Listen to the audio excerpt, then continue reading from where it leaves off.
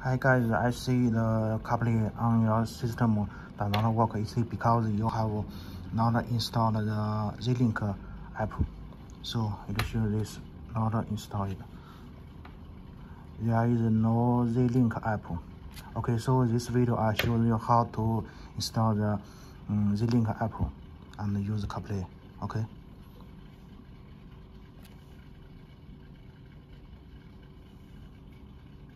So, copy the link.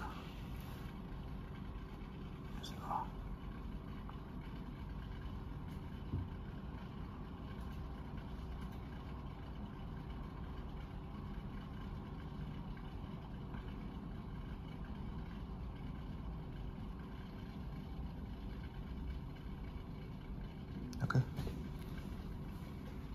So now you can see the Z-Link app through this menu and uh, you can match the, the link but it does not work because we need to connect the system to Wi-Fi and uh,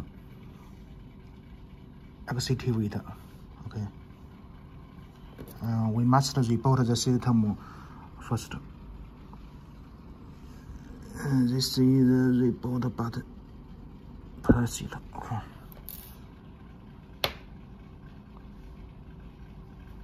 The report.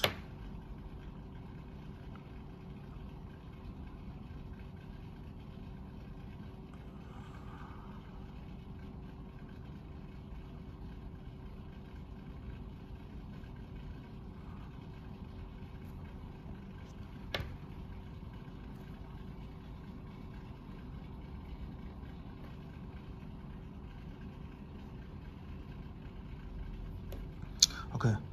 Uh, so now we must uh, connect the system to Wi-Fi.